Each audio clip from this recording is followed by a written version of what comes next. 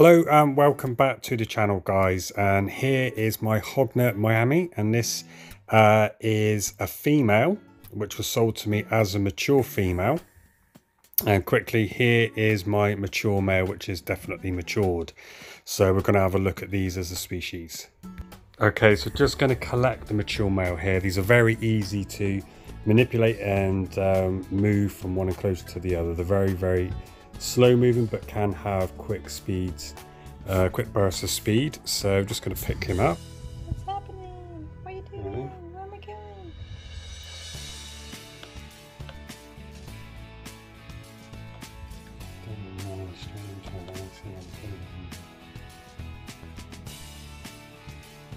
He's quite chilled.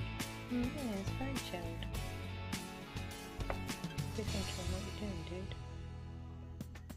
Whoa! Okay, not so chilled. She did instant prep fret pose. Did she attack him? She's. Did you get that I, one there? Yeah, I did, but I don't know what happened.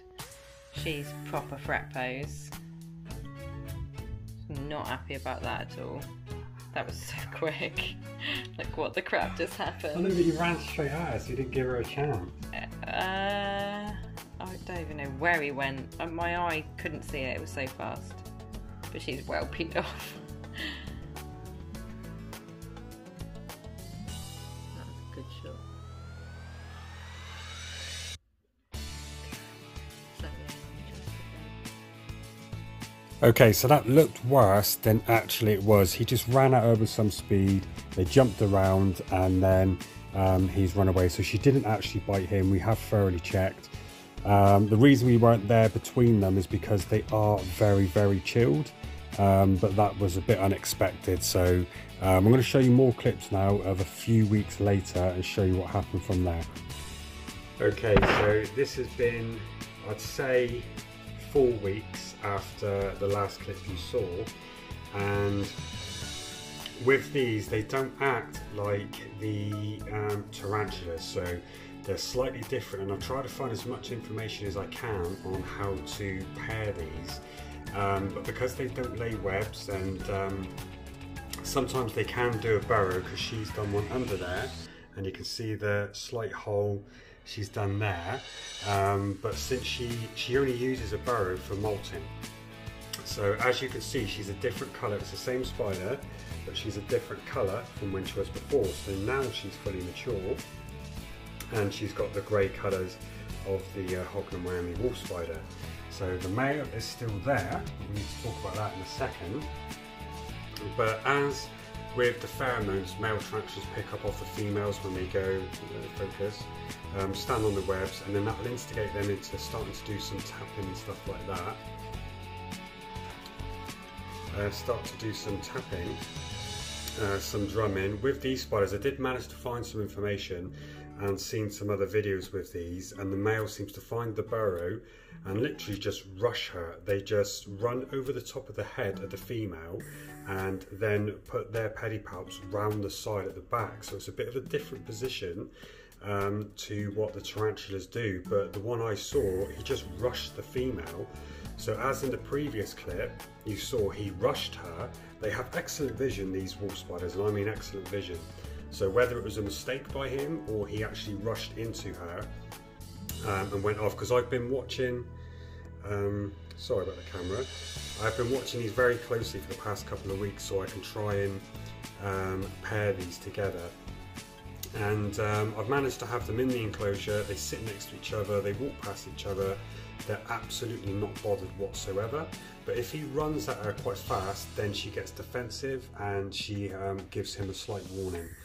Um, they constantly try and escape out of the enclosure, but they're not great at climbing plastic.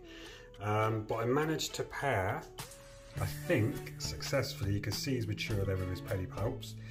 Um, they're extremely good with their eyesight, as I said before. He did strike me um, the last time as well when I put them together and had to remove them. But what I found easier to do with this is I left them together for some time and I'll see if I feel to feed them in a second. I left them together for some time, but kept an eye on them, and they just avoided each other. They would sit next to each other, they would drink together, and they just wouldn't be bothered. So I had to leave them overnight for a few days to see if any something happened. And something I think did happen because he's lost a leg. So I think you can see there. Fact, he's lost two legs. So he lost two legs, so he's lost one each side. So they were obviously grappling. But since then, the molt, she is acting a little bit different. She's constantly walking around, whereas before I've noticed the months I've had her, she wouldn't. And you can see her previous molt there. She looks different colour completely. She's not darkening up, she's staying the grey colour, which is the signs of the um, Hogna Miami. But her abdomen's getting slowly and slowly bigger, and I'm not feeding her. She's not taking any food. So I'm going to try and feed her now to see if she will take. But the last time she refused food, so this is looking like a good sign. But I wanted to get the pairing on camera, which I've not managed to do. But um, I know probably some people will comment in the comments below about how I put them together, but every time I put them together, they literally just walked around. They were so calm, so placid. But I think he tried to rush her to get over the top to start the pairing, and she basically told him no um, because she went into a molt and then molted out, as you see there. So she's done all of that, and now they've paired successfully.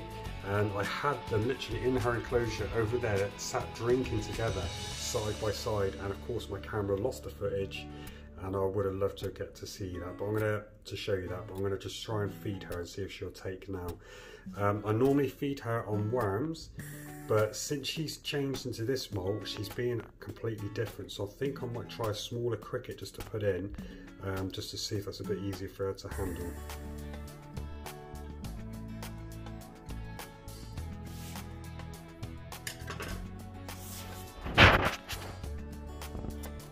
So the cricket is aware of her. Normally she would just be instantly on it, but no, she's not. There, see, so I think she is um, gravid. I've got no proof to prove it, but just off the behaviour, um, she should be hungry, but um, no, she's completely walking away from it. So let's just see if I can offer that up to the male. So if I get uh, any more size out of her, because her abdomen is slowly starting to get bigger, um, then well, if it does get bigger now, I know she's not feeding, so she is gravid. So I'm hoping this will be good. So I am learning with this because it's a true spider, so it's different from tarantulas. So I am learning. So let's see if I can get the male to take.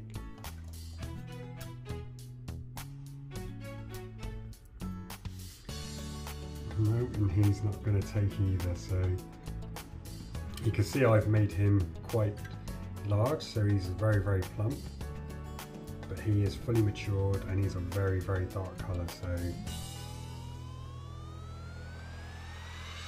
definitely keep everybody updated on the channel on this one. There we go. So that is my Hogna Miami. So thanks very much for watching